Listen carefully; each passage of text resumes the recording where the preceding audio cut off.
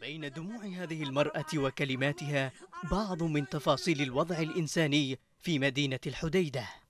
قذيفة هاون أطلقتها ميليشيا الحوثي على أحد الأحياء السكنية في مديرية التحيتة جنوب المحافظة أدت إلى تدمير منزل أحد المواطنين. استمرار سقوط القذائف على المنزل حال دون إسعاف المصابين ليسقط مالك المنزل شهيدا بعد نزيف استمر لخمس ساعات. هذا بيتنا. بيت عبد الله زيد دخن. دمر نهائيا. وكان ضحيتها من قبل القصف الميليشيات الحوثي. مات به فيها شهيد. جلس خمس ساعات. ينزف ولا قدرنا نسعفه عسكريا وفي المدخل الشمالي الغربي لمدينة الدريهم بالتحديد تستمر الاشتباكات العنيفة بين قوات الجيش وميليشيا الحوثي.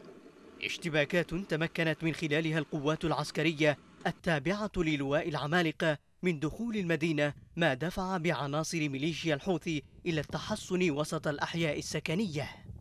العمليات العسكرية في الدريهم تأتي بعد يومين من دفع قوات الجيش بتعزيزات كبيرة إلى المدينة استعدادا لتحريرها بشكل نهائي خلال الأيام القادمة حسب مصادر عسكرية.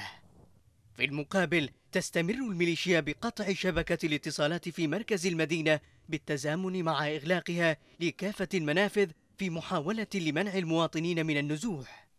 وما بين تقدم الجيش في مدينة الدريهم وتحصن الميليشيا في أحيائها وإغلاقها أبواب الخروج في وجوههم يظل المدنيون عالقين بين قذائف الحرب في انتظار الموت في أي لحظة.